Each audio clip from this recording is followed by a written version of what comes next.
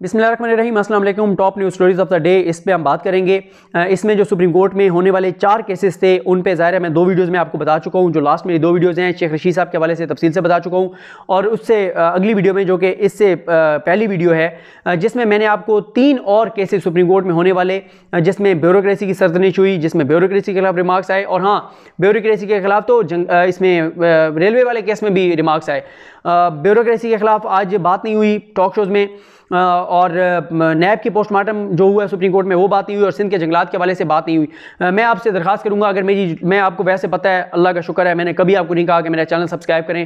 حالانکہ مجھے بہت سارے دوست کہتے ہیں کہ آپ کہیں گے تو بہت سارے لوگوں کے ذہن میں نہیں ہوتا، وہ کر لیں گے، لیکن میں پھر بھی نہیں کہتا۔ نہ میں نے کبھی آپ کو کہا کہ میری فلاں ویڈیو لازمی دیکھیں، لیکن میں یہ ضرور کہوں گا، جو دوست یہ ویڈیو دیکھ رہے ہیں کہ وہ اس سے پچھلی لازمی جا کر دیکھیں۔ کیونکہ اس میں میں نے کچھ امپورٹنٹ چیزیں آپ کے ساتھ جو شیئر کی ہیں کہ وہ تین ٹاپک وہ تین ایشوز میڈیا پہ کیوں ڈسکس نہیں ہوئے؟ اس کا مجھے آپ سے جواب چاہیے، وہ اسی ویڈیو کے کومنٹس میں مجھے جواب میں ضرور بتائیے گا۔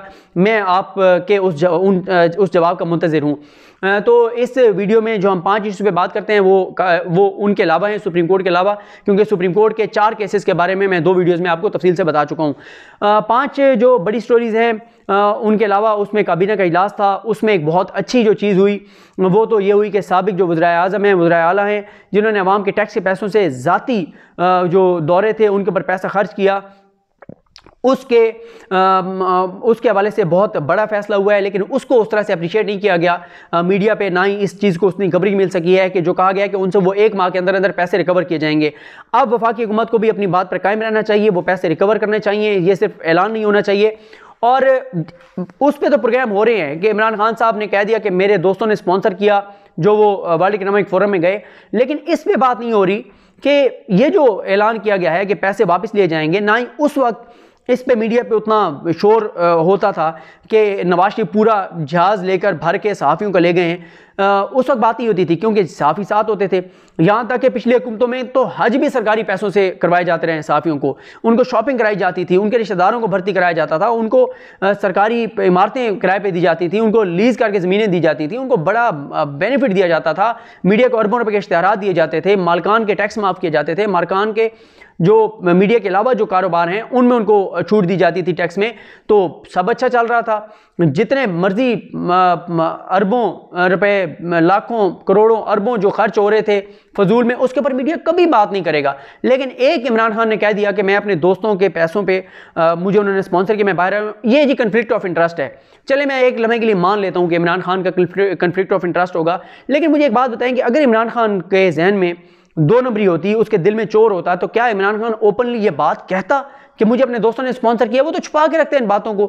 لیکن اگر عمران خان نے اوپنلی کیا تو اس کا مطلب ہے کہ اس کا وہ کلیئر ہے، اس کے اس کے ضمیر پہ کوئی بوجھ نہیں ہے، اس کو کوئی مسئلہ نہیں ہے، اس نے کہہ دیا ہے۔ اس کے اوپر پورے پورے پروگرام ہو رہے ہیں۔ لیکن اس کے اوپر کوئی پروگرام نہیں ہوا کہ جو ہے وہ جو آج کہا گیا ہے کہ پیسے واپس لینے کے حوالے سے۔ لیکن یہ آپ کو ضرور بتا دوں کہ سعدی افضال صاحبہ نے رانا مبشر صاحب نے اس پہ پروگرام ضرور کیا تھا کہ کتنے پیسے جو ہیں وہ کس نے خرچ کیے، عمران خان نے کتنے بیرونی دوروں پہ خرچ کیے۔ ان دو کے تو میں نے سوشل میڈیا پہ کلپس دیکھیں اگر اور کسی نے کیا تو سوری ان کا میں نام نہیں لے سک رہا تو یہ بڑا ایک ہے۔ دوسرا، عمران خان صاحب نے کابینہ کے اجلاس میں کہا ہے کہ بہت ہو گیا۔ اب جو مہنگائی کرنے والے مافیاز ہیں، جو جن کا اس میں کردار ہے، اب ان کے خلاف فائنلی وہ کہتے ہیں کہ بہت ہو گیا ہے، اب کارروائی ہوگی۔ اور عمران خان صاحب نے اپنے تین قریبی جو دوست ہیں وزراء ہیں، کے پی کے میں ان کو نکال کے کلیئر میسیج دے دیا ہے کہ اب عمران خان صاحب ان مافیات سے لڑنے کے موڈ میں ہیں، جن کو وہ سمجھتے ہیں کہ وہ منظم طور پہ ان کی حکومت کے خلاف کام کر رہے ہیں، سازش کر رہے ہیں۔ چاہے وہ اس کے، ان کی پارٹی کے اندر کچھ لوگ ہیں جو اس مافیا کا حصہ نہیں ہیں، اس سازش کا حصہ نہیں ہے لیکن استعمال ہو رہے ہیں یا اس موقع پہ عمران خان کو بلیک میل کر رہے ہیں، چاہے وہ اتحادی ہیں، چاہے وہ اپوزیشن ہیں پارٹی کے اندر لوگ ہیں، سب کو عمران خان بڑے سخت طریقے سے اس وقت بڑے سخت موڈ میں اور کچھ ایسی قوتیں جن کی طرف اشارے بھی کیے جا رہے ہیں کہ وہ بھی اب عمران خان کے لیے ماحول سخت کر رہی ہیں، تو ان کو بھی وہ بار بار پیغام دے رہے ہیں کہ حکومت تو چھوٹی چیز ہے، جان بھی چلی جائے، لیکن میں پیچھے نہیں ہٹوں گا اور اب میں مافیاز کے خلاف لڑوں گا۔ دوسرا جو ہے وہ پی ٹی ایم کہ علی وزیر اور محسن داوڑ، ان کو گرفتار کیا گیا۔ پہلے منظور پشتین کو گرفتار کیا گیا۔ منصور پشتین کو گرفتار کر کے اب ان کو ان کے ضمانت جو ہے وہ مسترد کر دی گئی ہے۔ اس کو جسمانی ریمانڈ پر بھیج دیا گیا ہے۔ محسن داوڑ صاحب، علی وزیر صاحب کو بھی گرفتار کر لیا گیا ہے۔ پی ٹی ایم کو بار بار کہا جا رہا ہے کہ آپ کے جو جائز مطالبات ہیں، آپ ہمیں بتائیے۔ آپ کی ہم جائز باتیں سننے کو تیار ہیں، لیکن اگر آپ باہر سے پیسہ لے کر افغانستان سے، انڈیا سے جو کہ یہ باتیں ہمیں D G I, S P R, Asif Ghafoor sahab نے بتائی تھی کہ ان کے پاس ثبوت ہیں کہ ان کو کیسے باہر سے جو ہے وہ سپورٹ کیا جا رہا تھا، لیکن ادارے پھر کیوں اب تک انتظار کر رہے ہیں؟ اب تک ان، اگر ان کو باہر سے فنڈنگ ہو رہی ہے تو کیوں اب تک ان کے کیسز منتقی یہاں کو کیوں نہیں پہنچے؟ دوسرا، ہمیں یہ بھی بتایا گیا تھا کہ پی ٹی ایم کو جو صحافی سپورٹ کر رہے ہیں، ان کے بھی کچھ اکاؤنٹس دکھائے گئے تھے کہ یہ بھی ملک دشمن ایجنڈے کو آگے بڑھانے کا حصہ بن رہے ہیں۔ ان صحافیوں کے خلاف بھی کوئی کارروائی نہیں ہے۔ آج بھی وہ اس وقت بھی اداروں کے خلاف ٹویٹس کر رہے ہیں اور بڑے دبنگ انداز سے کرتے ہیں۔ ان کے خلاف بھی کوئی کارروائی نہیں ہوتی۔ تو پی ٹی ایم جو ہے وہ خام خامے فوج کو کمزور کرنے کی سازش کا اگر حصہ ہے تو ان کو نہیں بننا چاہیے، کیونکہ ہمارا دشمن یہ چاہتا ہے کہ ہماری فوج کمزور ہو اور ہماری فوج جو ہے، ہمارے جوان جو کہ جانے قربان کرتے ہیں، سرحدوں کی حفاظت کر رہے ہیں۔ پاکستان میں اگر آج ہم سکون سے سوتے ہیں تو اس میں بڑا کردار ہمارے ہماری جو ہے وہ فوج کے جوانوں کا ہے۔ تو آپ کی جو جائز تنقید ہے، وہ اسٹیبلشمنٹ پہ وہ جائز تنقید بھی کیجیے۔ آپ کے جو سوال ہیں وہ بھی کیجیے۔ جائز تنقید ہم بھی کرتے ہیں، آپ بھی کیجیے۔ آپ کے کوئی جو ہے وہ جائز مطالبات ہیں وہ بھی رکھیے۔ لیکن خواہ مخواہ میں فوج کو کمزور نہ کیجیے اور فوج کے جوانوں پہ الزامات مت لگائیے۔ بہرحال اب ان کو گرفتار کیا گیا تو ان کو عدالتوں میں پیش کیا جانا چاہیے، عدالتوں میں بتانا چاہیے کیسز آگے بڑھنے چاہیے، اور اگر انہوں نے کچھ غلط کیا تو ان کو سزائیں ملنی چاہیے۔ لیکن جو بھی جائز ان کے مطالبات ہیں، ظاہر وہ مانے جانے چاہیے۔ اس کے بعد آئی جی سندھ کا معاملہ ہے۔ آئی جی سندھ کو سندھ حکومت ہٹانا چاہتی ہے۔ آئی جی سندھ کا آج بیان بھی سامنے آیا۔ پہلے عمران خان صاحب کو جب وزیر اعلیٰ ملے تو وزیر اعلیٰ سندھ تو ان کا کہنا ہے کہ عمران خان صاحب راضی تھے کہ جو قانون کے مطابق پروسیجر ہے، اس کے مطابق آپ ان کو ہٹا دیں۔ نئے آئی جی ہم لگا دیتے ہیں۔ لیکن پھر کابینہ میں عمران خان صاحب کو یہ بتایا گیا اور کہا گیا کہ ہمیں ان کے بھیجے ہوئے ناموں میں سے کسی کو آئی جی نہیں لگانا چاہیے۔ وفاقی حکومت کو یہاں سے نام بھیجنے چاہیے۔ اور ان میں سے کوئی ایک نام وہ سلیکٹ کریں کیونکہ پھر عمران خان صاحب کو تفصیل سے جی ڈی اے کی جانب سے بھی بتایا گیا کراچی کے ایم این ایس کی جانب سے بھی بتایا گیا کہ سندھ حکومت کیوں موجودہ آئی جی کلیم امام صاحب کو بدلنا چاہتی ہے کہ وہ سندھ حکومت کی بات اس طرح سے نہیں مان رہے وہ جو ہے جو سندھ حکومت چاہتی ہے، جو سندھ حکومت پہ الزامات بھی ہے کہ یہ تھانے بیچتے ہیں، اپنی شوگر ملز کو فائدہ پہنچانے کے لیے جو کام کرتے ہیں، وہ باتیں ساری نہیں مان رہے، تو اس لیے وہ ان کو ہٹانا چاہتے ہیں۔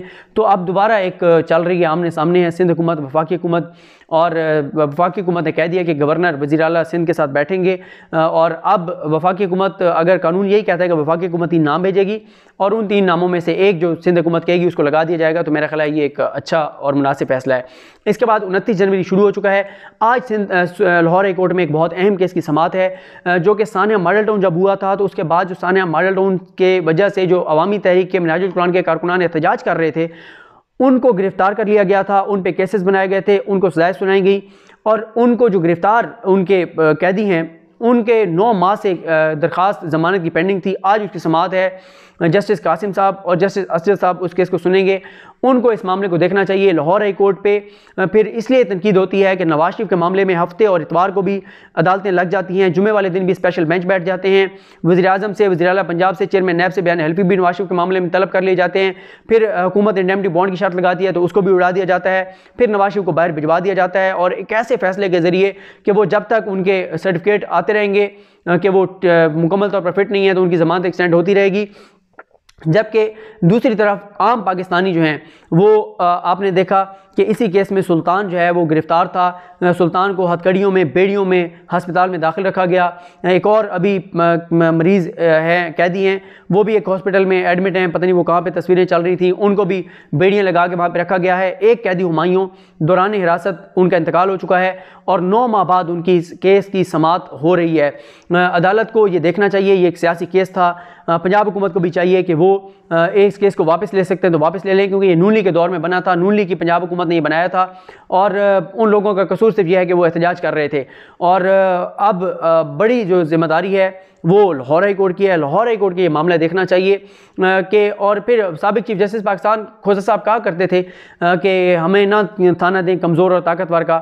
تو پتہ یہیں پہ چل جائے گا کہ ایک طاقتور جس کے اوپر پاکستان کی عوام کے اربوں ڈالر جو ہے وہ چوری کرنے کا الزام ہے۔ الزام نہیں ہے، بلکہ اب ثابت ہو چکا ہے، وہ سزا یافتہ مجرم ہے پاکستان کی بہتر سال عدالتی تاریخ میں پہلی مرتبہ کسی سزا یافتہ مجرم کو باہر بھیجا گیا۔ دوسری طرف یہ عام پاکستانی ہیں، یہ عام پاکستانی قیدی ہیں جن کے ساتھ یہ سلوک ہو رہا ہے۔ حکومت کو بھی اس معاملے کو دیکھنا چاہیے عدالت کو بھی اس معاملے کو دیکھنا چاہیے اور نظر آنا چاہیے کہ یہ دو نہیں، ایک پاکستان ہے اور نظر آنا چاہیے کہ پاکستان کی عدالتوں کے لیے اور خاص طور پہ لاہور ہائی کورٹ کے لیے عام پاکستانی قیدی بھی اتنے ہی اہم ہیں جتنا ایک سزا یافتہ مجرم میاں محمد نواز شریف، مبینہ اور جعلی بیمار اہم تھا۔ مجھے اپنی دعا میں یاد رکھیں۔ الکریم ہم سب کا امین ناصرو خدا حافظ۔